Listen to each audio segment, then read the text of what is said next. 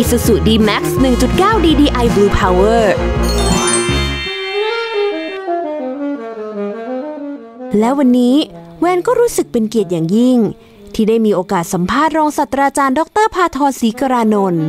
นักดนตรีที่อายุน้อยที่สุด ผู้เคยได้ถวายงานในพระบาทสมเด็จพระบรมินทรมหาภูมิพลอดุลยเดชในฐานะสมาชิกวงอสวันศุกร์ซึ่งวันนี้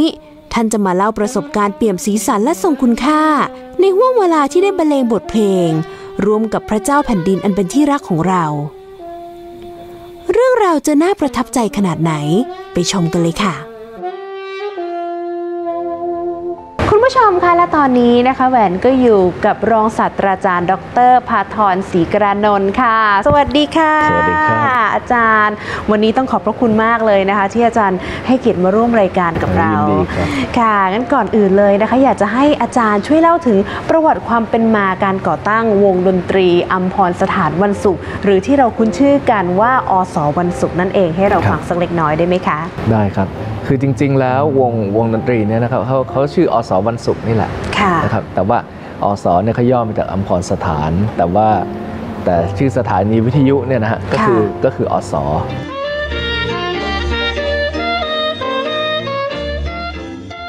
นะครับสถานีวิทยุอสพระราชวังดุสิตประวัติการก่อตั้งวง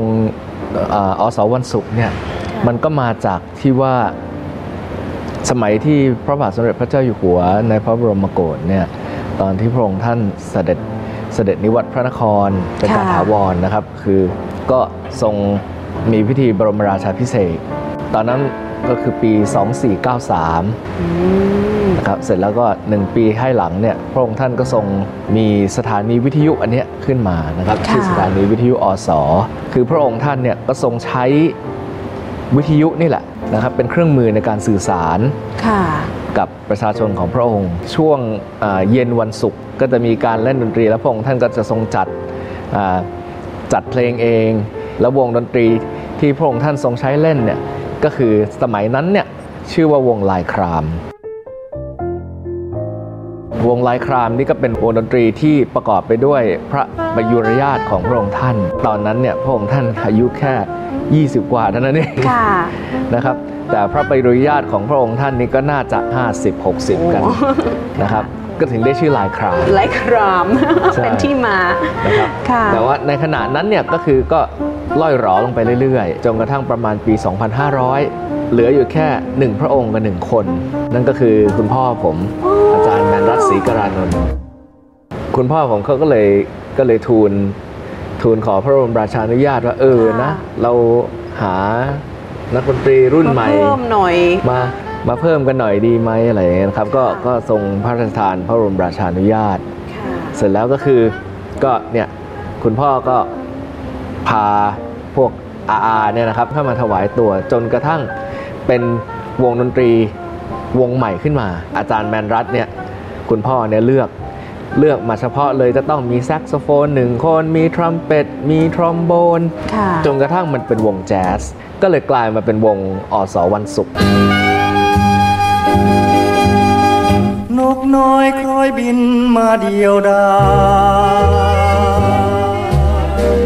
คิดคิดมีวายกังวลให้มนหรือไทยมอง สำหรับตัวอาจารย์เองเนี่ยเข้าไปร่วมเป็นสมาชิกวงได้ยังไง ตั้งแต่อายุเท่าไหร่อืคะมคือตั้งแต่เด็กๆเนี่ยเราก็เราก็คุ้นเคยกับวงนี้นะครับค่ะสมัยเด็กๆก็ก็ได้เห็นก็ได้มีโอกาสเห็นพระองค์ท่านทรงทรงแซกโซโฟนนี่แหละค่ะนะครับ แล้วพอเราเห็นเราก็เออเราก็อยาก เราก็อยากที่จะเล่นบ้าง พอกลับมาที่บ้านค่ะนะครับ กลับมาที่บ้านเนี่ยคือคือพ่อเนี่ย เขาจะมีแซกโซโฟนอยู่เครื่องหนึ่งค่ะที่อยู่ที่บ้าน ซึ่งเป็นเครื่องที่พระบาทสมเด็จพระเจ้าอยู่หัวในพระบรมโกศเนี่ยพระองค์ท่านพระราชทานให้กับพ่อเอาไว้ใช้ถวายการสอนสมเด็จพระบรมอ๋อตอนที่ตอนที่สมเด็จพระบรมท่านท่านยังส่งเป็นนักเรียนอยู่เลยค่ะนะครับที่โรงเรียนจิตรลดาค่ะก็เคยเคยแอบเอาออกมาเล่นเหมือนกันตอนนั้นอะอืมตอนนั้นเราก็แบบเออใช่แน่ๆละนี่คือสิ่งที่เราชอบอืมนะครับ นี่คือสิ่งที่เราชอบและนี่คือสิ่งที่เราต้องการที่จะอยู่กับมันไปตลอดชีวิต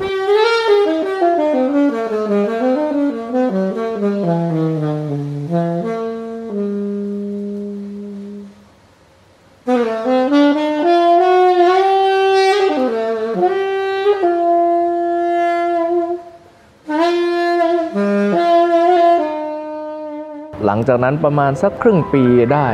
พ่อเขาเอา เอาโน้ตเพลง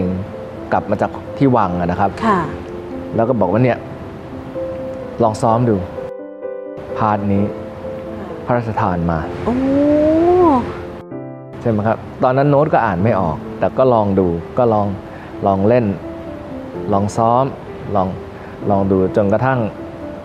พอคิดว่าโอเคละพ่อพ่อก็พาเข้าไปเอ่อ ถวายตัว มันเป็นมันเป็นวง big band นะอ่าเป็นเพลงชื่อธีม พระองค์ท่านก็ทรงแซกโซโฟนหนึ่งผมก็เล่นเอาเอาเทเนอร์แซกโซโฟนสองนะครับแล้วก็คุณอาคนหนึ่งก็เล่น part อื่นๆ พระองค์ท่านทรงอัดเสียงเองด้วยนะ อัดเสียงเองด้วใช่ยแต่ทีนี้มันมีปัญหาอยู่อย่างหนึ่งค่ะก็คือว่าวง big band เนี่ยปกติแล้วเนี่ยเขาจะมีคนเล่นประมาณ 15-20 คนค่ะใช่ไหมครับ แต่วง อ.ส. วันศุกร์เนี่ย ในขณะนั้นเนี่ยก็มีอยู่10กว่าคน เราก็ไม่รู้หรอกว่าพระองค์ท่านทรงมีวิธีจะจะมีวิธีทำอย่างไรที่จะให้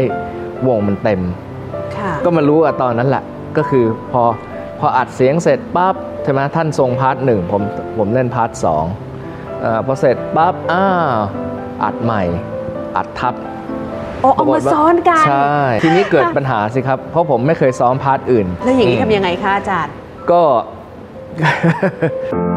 เรื่องราวที่แสนน่าประทับใจยังไม่หมดเพียงแค่นี้ ช่วงหน้ากลับมาติดตามกันต่อ อีกสักครู่เดียวค่ะ